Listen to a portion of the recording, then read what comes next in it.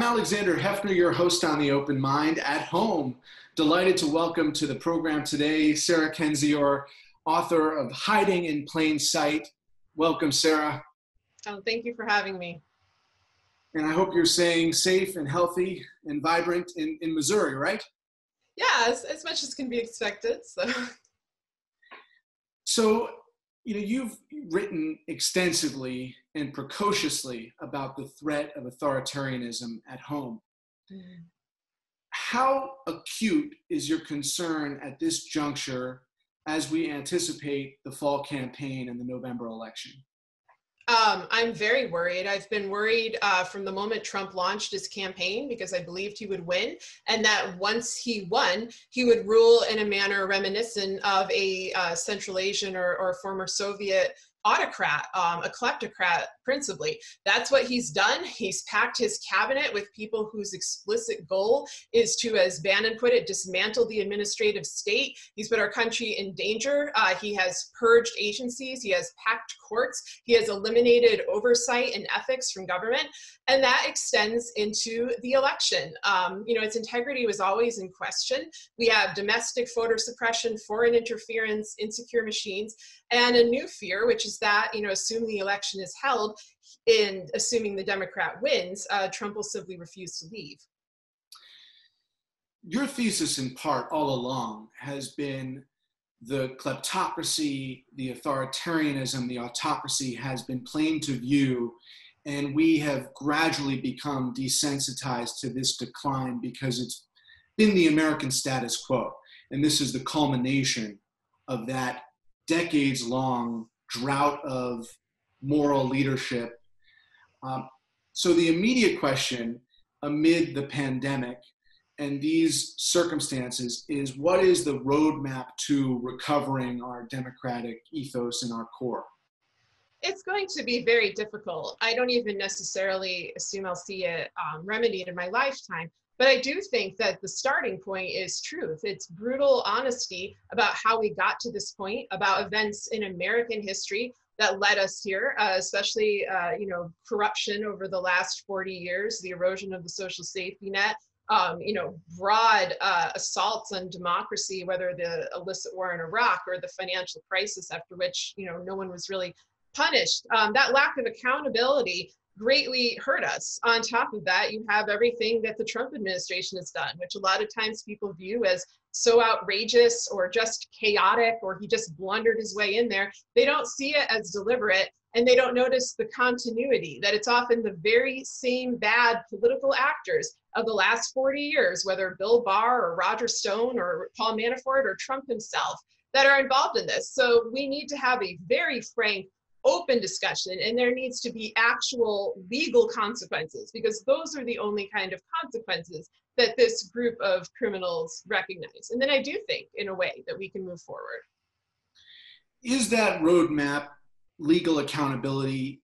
And if so, in the current environment in which our Supreme Court just recently ruled in favor of Governor uh, Christie's political aides who said in an email they wanted to threaten the health of a neighboring community because it was under the administration of a Democratic opposing mayor.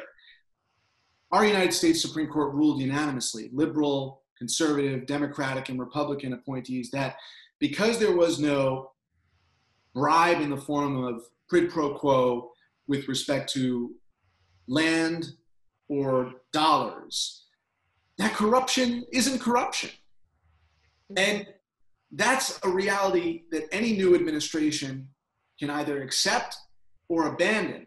But we have an entire body of a Supreme Court that unanimously said corruption is okay um, as long as there is not a legal transfer, illegal transfer of dollars and cents. Every other kind of corruption to deprive ventilators to communities because they have Democratic mayors, to deprive state funding because there's a Democratic governor.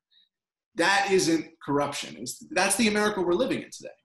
Yes, it is. And actually, in my book, In Hiding in Plain Sight, um, I wrote about that same phenomenon in Missouri, where I live.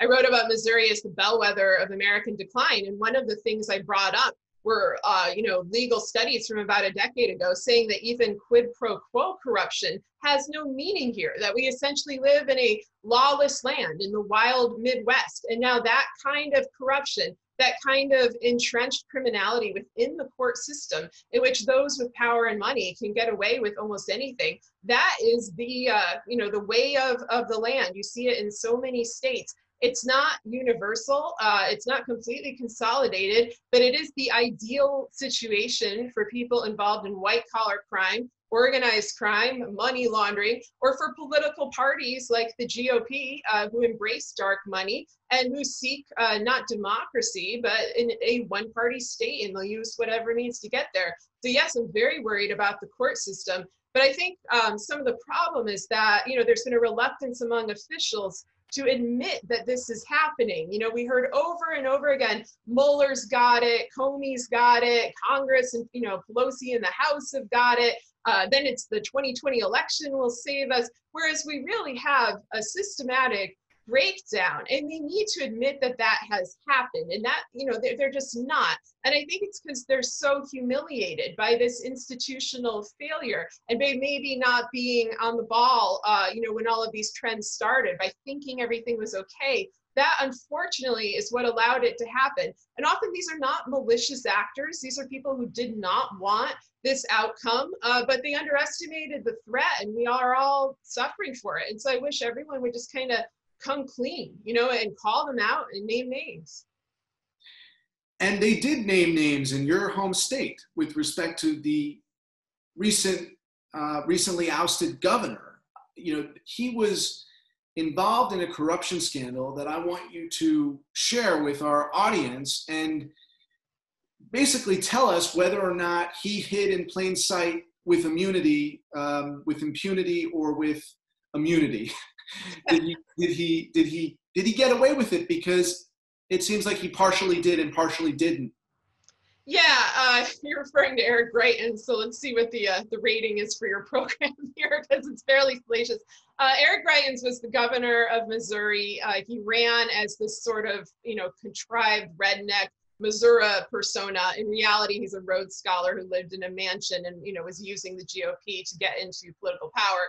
Uh, once in power, he was involved in a lot of shady activity. He tied a woman up uh, in his basement and photographed her half naked and blackmailed her. He had a system, an app where he would delete uh, emails, including state documents. He was involved in a number of uh, financial fraud, uh, including stealing from veterans groups, um, you know, a lot of which went back to his campaign. Some of his campaign officials are, are greatly tied to the Trump administration, especially to Mike Pence. Um, you know, and so he was indicted. He was indicted a couple times. And this was back in 2018. And what was remarkable at the time, and the big fear of everyone in Missouri, is that he just refused to leave. You know, and the Republicans even in Missouri were pressuring him. They were like, you know, you've got to go. Like you have committed crimes. And what appears to have happened, although I can't completely vouch for this, is that some sort of deal was struck where he wasn't going to be actually prosecuted or incarcerated, but he he stepped down. Uh, and so now we have a, uh, a new governor, uh, one who's not handling the coronavirus pandemic well, but to my knowledge, it's never tied up a woman in his basement. So points to him, I guess but yeah, it was a real example of the kind of fear that this unbridled corruption, particularly when our state corruption is linked to uh, national corruption within the Trump administration, where Greitens was seen as someone who could potentially be, you know, the vice president or the president of the United States. That's very frightening. And right now, um, you know, he's planning his political comeback. And because there's no consequences for this kind of behavior, I could see that happening over the next couple years. So, what was the ingredient, though, for that pressure to be institutionalized in a sense that there was a check with respect to his administration of the state, and Republicans were ultimately fed up enough?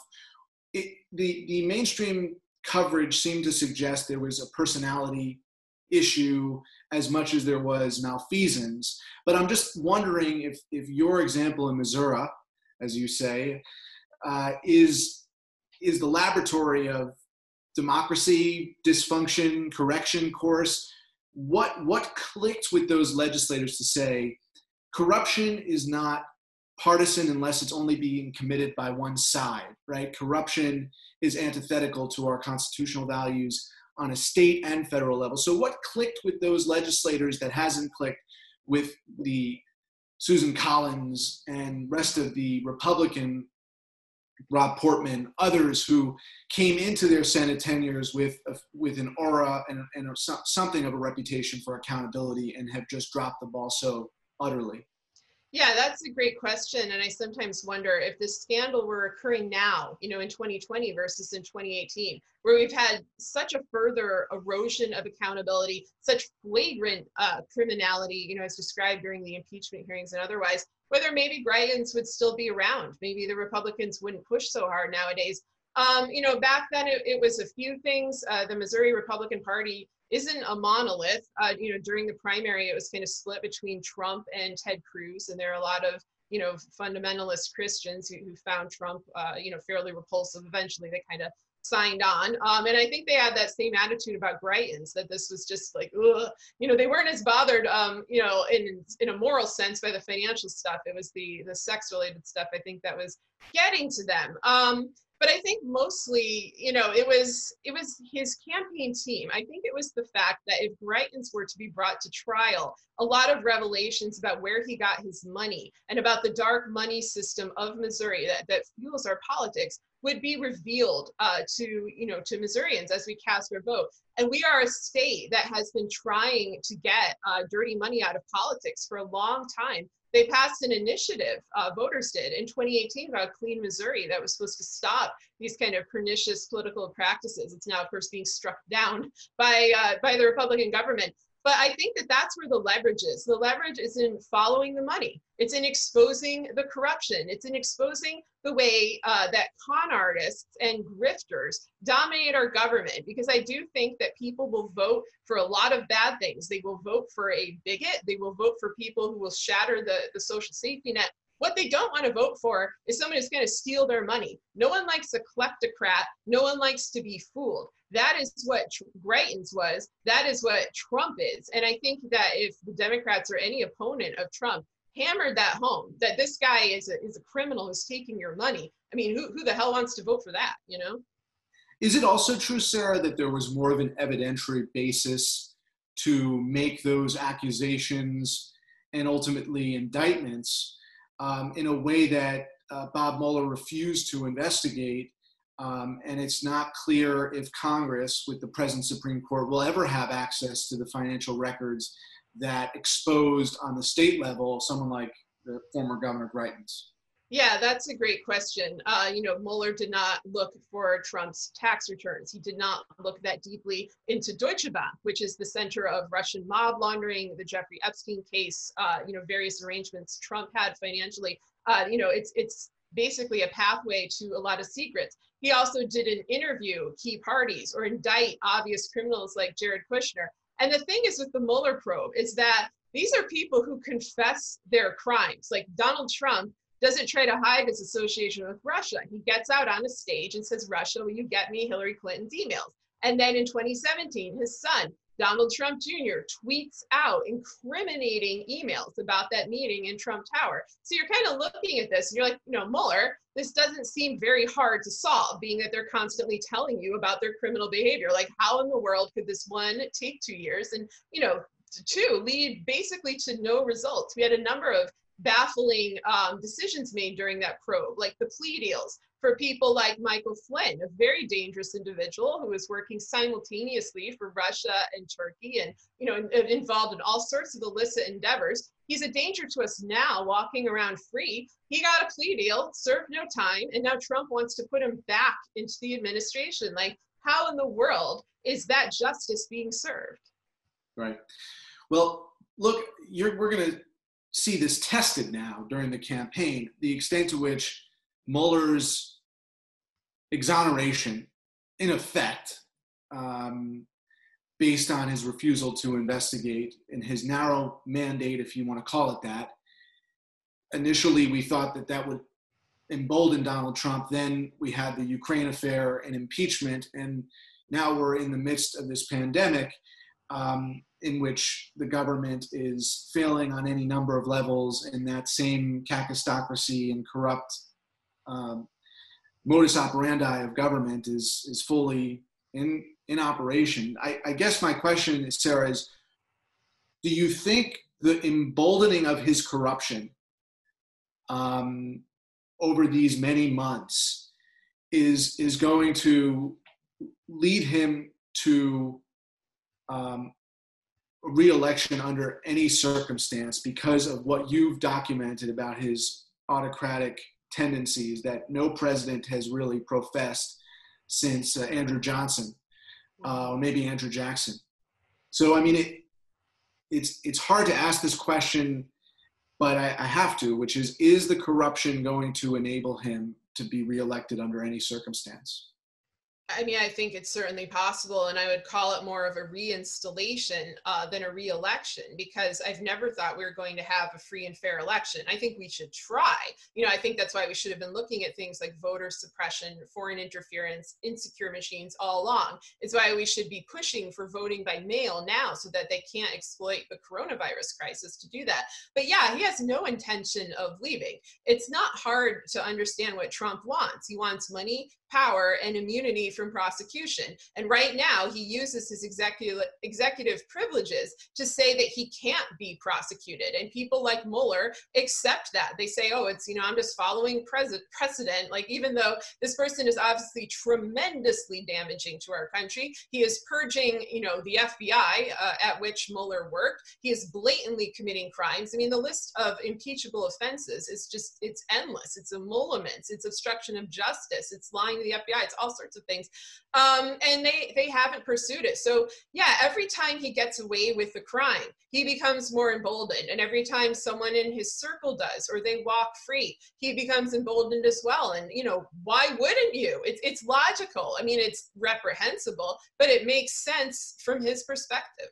And there are two ways to view the consequences electorally of the pandemic. One is you know you're an expert not just on the political accountability piece of this, but flyover country about which you've written extensively, um, the heartland, however you want to, what's the best way to refer to these varying states? It's not just Missouri, it's any state in which, you know, the, the, the um, American people are, are more governed by suburb and rural counties than, than metropolises.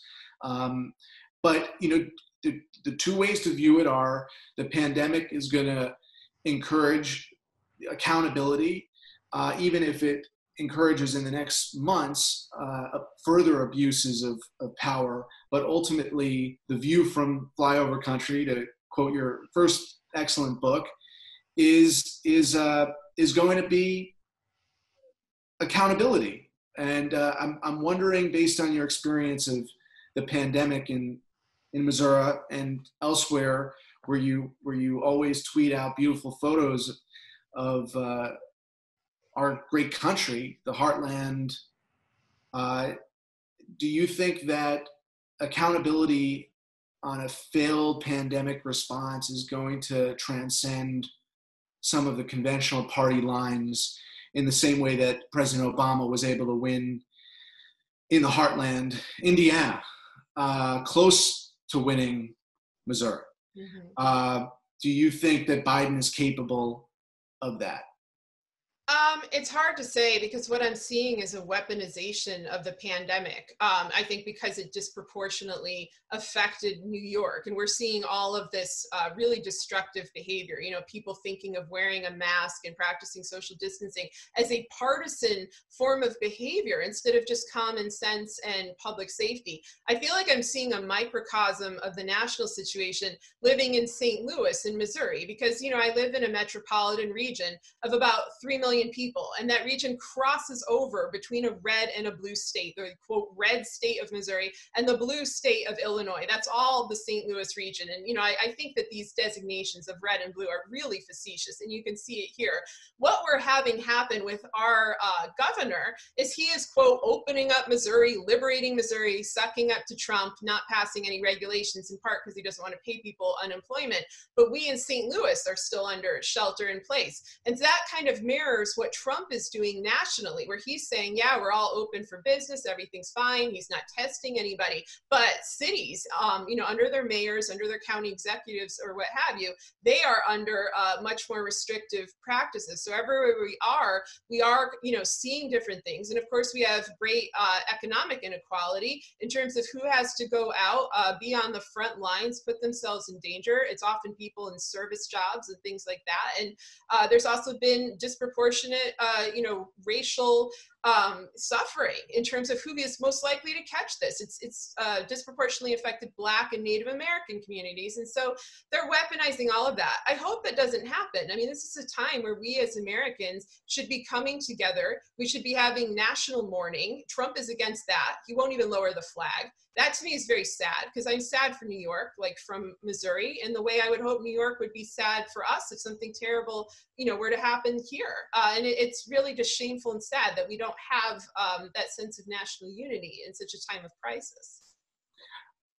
Do you think that the work of the Lincoln Project and the former Republicans who have made the realization that Donald Trump is a mortal threat to our democracy and our way of life. Do you think that that is experienced and felt in a lot of suburban and and rural homes and that that will be a crossover effect that even with the paralysis of the underserved communities that you're describing that that will be so potent as to overcome um, the the traditional lines of, of demarcation that you're that you're talking about, uh, red and blue, and uh, Republican and Democratic representation.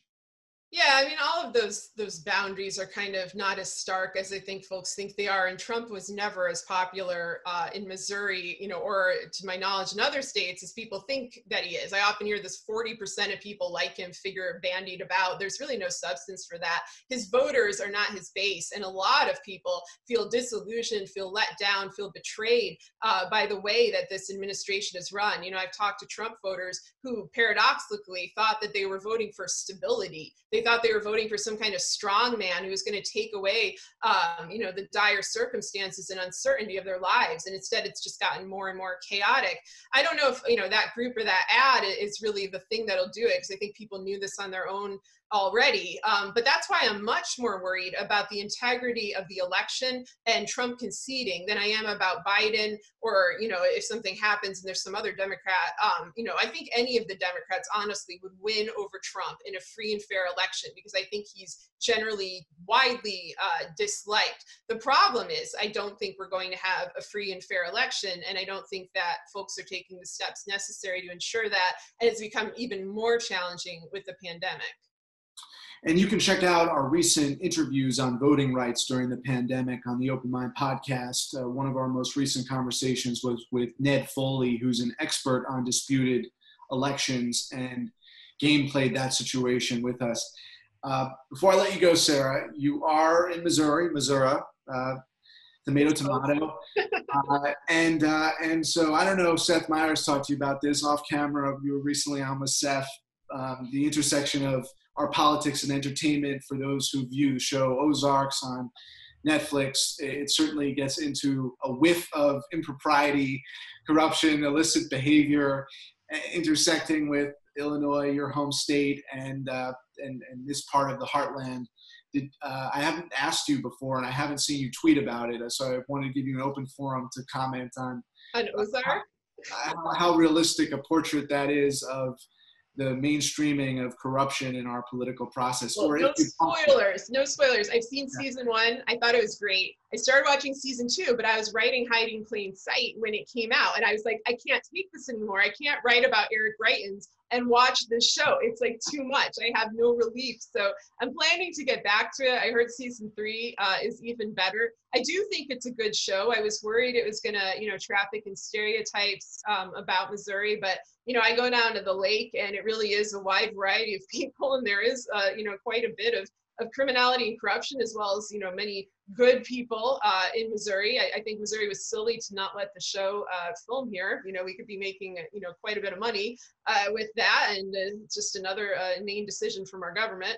Um, but yeah, I'm, I'm, excited to get back to that now that the book is done and I can get some uh, entertaining relief.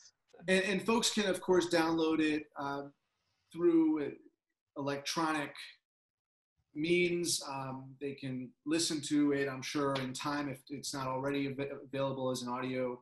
The book, you mean? Book, uh, yeah, yeah, it's available hardcover, ebook, Audible, like any format you want.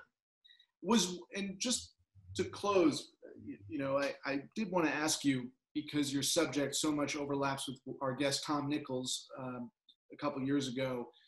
You know, when when you see hiding in plain sight and, and sort of want to just impart some uh, wisdom to viewers who are going to look at your book, uh, do you see it more as uh, up is down or up is nothing? Um, in the sense of you know the, the kind of conundrum is it more orwell or huxley that we're living through right now? So is up down or is up nothing it's a combination. I mean, I think that we are experiencing a genuine transition, uh, you know, into autocracy in which we're losing many of our rights, we're losing many of our constitutional protections. Um, we also have incredible propaganda, doublespeak, Big Brother, surveillance society, what have you.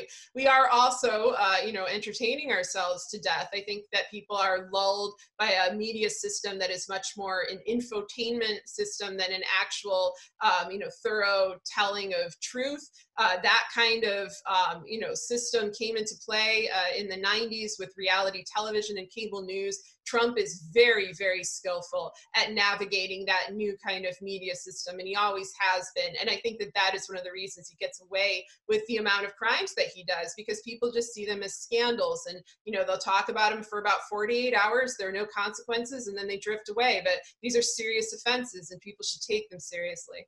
Thank you, thank you, Sarah. I appreciate your time. Uh, please, our viewers, go take a look at Hiding in Plain Sight. Congratulations on the book and stay safe. Thank you. Thanks for having me. Please visit the Open Mind website at 13.org slash openmind to view this program online or to access over 1,500 other interviews. And do check us out on Twitter and Facebook at Open Mind TV for updates on future programming.